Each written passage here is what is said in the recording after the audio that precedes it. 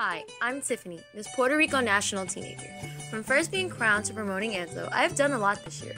From meeting the First Lady Corrections Commissioner in New York, to getting to show my singing talent at events, to meeting and working with Sal Dupree, and famous stars like Peter Facinelli from Twilight, salsa singer Tony Vega, singer Kelly Glover, to performing with Dr. Beverly Vaughn from Stockton meeting Mayor Don Guardian of Atlantic City and Councilman Angel Fuentes, getting to know and spend time with Councilwoman Hazel Mueller, handing awards and making friends with the National Association of Hispanic Nurses, to my community service of making and handing out Ziploc bags to the homeless on my birthday, bringing canned food to my food bank for Thanksgiving, handing out lunches to the elders at Borinquen Plaza in Brooklyn, and handing out roses to the mothers at the nursing home and hospital on Mother's Day making friends and being a role model behind the scenes of Miss Amazing.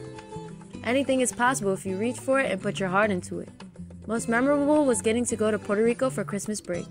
Go to the transitional homes like Casa Cuna in San Juan, where I delivered toys to the children, and got to see and talk to kids with cancer at the hospital in San Juan, and meet the staff at the homes and talk to them.